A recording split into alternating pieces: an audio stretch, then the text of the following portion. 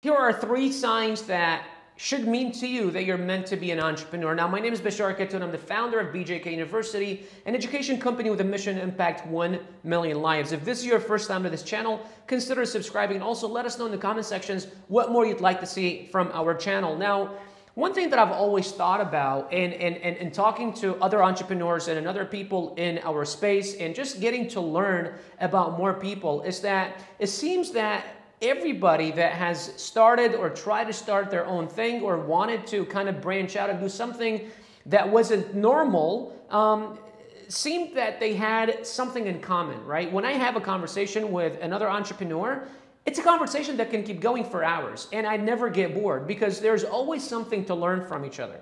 So the following three signs, if you have those, at least two of them, then you are meant to be an entrepreneur. Now, just one thing to explain before we get into those three things.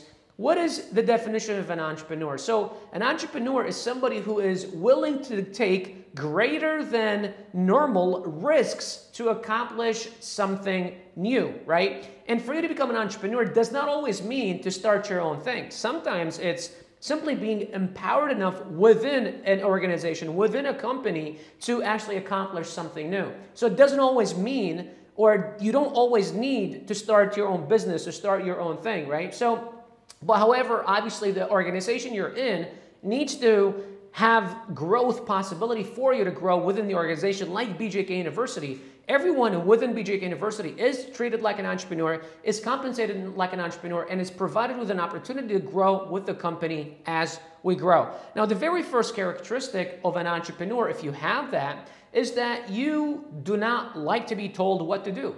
And in fact, you actually would rather someone give you a platform and say, here are the tools that you can work with, and go out there and kind of accomplish your own thing and, and become creative. Entrepreneurs are creative human beings, people that want to feel the sense of ownership, people that want to build their own thing, build their own, you know, whether if it's uh, uh, systems, whether if it's a business, whether if it's just building a branch within an organization or improve something that already exists and just simply try and say that, hey, you know what, I was the reason why this thing even exists. Because of my knowledge, because of my creativity, because of my effort this thing created, and I don't want you to tell me what to do. Just empower me and give me the tools to go out there and become creative. And that is the very first thing or very first sign that if you have that, then you are meant to be an entrepreneur. Now, the very second thing is that you don't always do it just for the money. Now, let's not shy away from the fact that we all need money because we all have mouths to feed, we all have bills to pay. But you're not only interested in the money. In fact, you could even be more interested in the impact that the thing you're doing or the thing you're building has more than you are interested in just the money. Again, money is an incentive, money is necessary.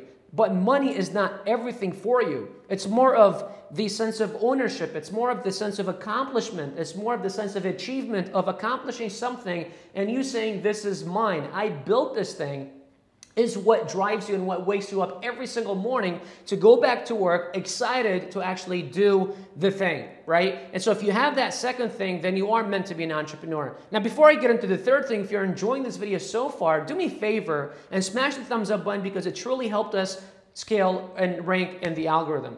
Now, the third thing is you have a message or you have something inside of you that you want to share with the world. You don't just want to get by and just do what you're told and go to work and collect a paycheck and pay your bills and that's it. You have something deep down. You feel like you have a moral obligation for you to build this thing because after you've built it, other people's lives could change. Other people's lives could be impacted. Now, whether if you're just an Amazon seller selling $24 products to, you know, everyday customers or whether if you are, you know, someone like, you know, a, a partner in BJK University with a mission to impact 1 million lives, or if you are the president of a country or whatever you are, but you truly feel like you have a moral obligation to wake up every single day and build this thing that you are working on because this thing can impact the lives of other people, because this thing can help other people live a better life, because this thing can change someone else's life. And again, you truly feel like you have a moral obligation to go out there and accomplish something and help other people. Now, again,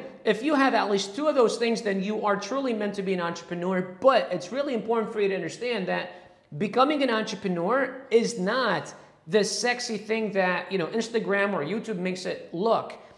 Becoming an entrepreneur, you have to believe in yourself and you cannot allow society to place things on you and label you certain things in certain ways.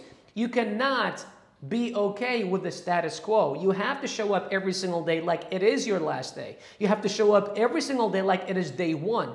Even if your company generated $100 million in revenue last year, you still have to show up like you're broke. You still have to innovate every single day. You still have to empower other leaders within your organization, within your company, within your team. You still have to make sure that you are doing whatever it takes to accomplish new things. Because if you're not growing, then you're dying.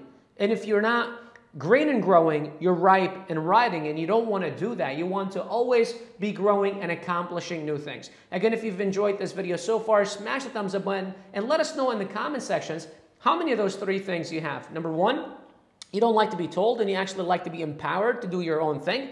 Number two, it's not just about the money, it's more about the impact. And number three, you feel like you have a moral obligation to go out there and truly make a big impact in the world. Let us know which of those three you know, you have below in the comment sections. Outside of that, I'll see you in the next video. Take care.